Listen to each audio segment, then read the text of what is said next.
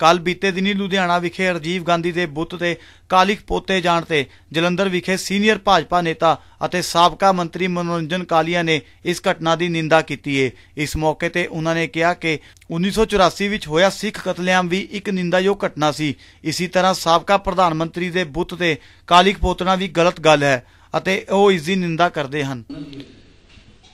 पूर्व प्रधानमंत्री श्री राजीव गांधी जी के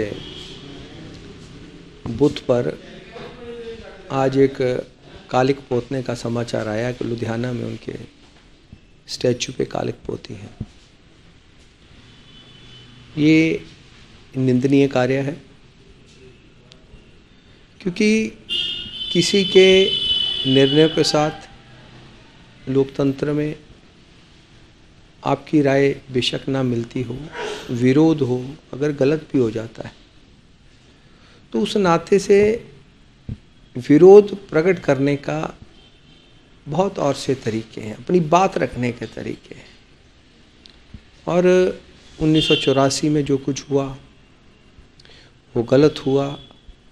कि उस वक्त जो दंगे हुए नरसंहार हुआ दिल्ली में,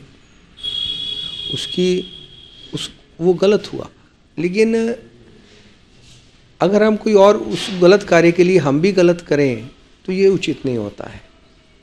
सो उस नाते से जिस व्यक्ति ने भी ये किया है, वो गलत किया है, मैं उसकी भर्सना करता हूँ।